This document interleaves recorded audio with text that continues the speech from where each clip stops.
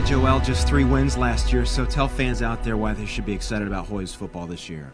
Uh, we're really excited. You know, we've been working hard this season. Uh, we're just excited to have everyone coming back. You know, uh, Kyle's coming back. Uh, we have some really good running backs coming back, receivers coming back, defense. Um, we're just expecting a great season, and we love the coaches, and we're going to trust what they put us on the field to do.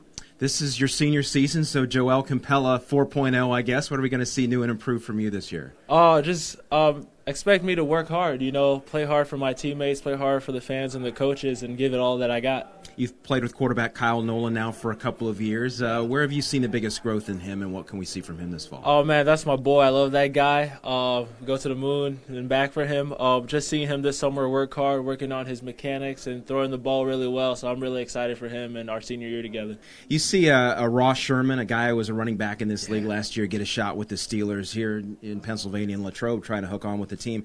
Do, do you see him and think, I don't know, a year from now that maybe that could be me? Man, I, I, love the way Ross was running last year. You know, he had a great year. Uh, I watched him. I love the way he, he runs. And um, I'm just going to let things handle itself, you know, help my team get better each and every day, and that'll take care of itself if that comes, you know.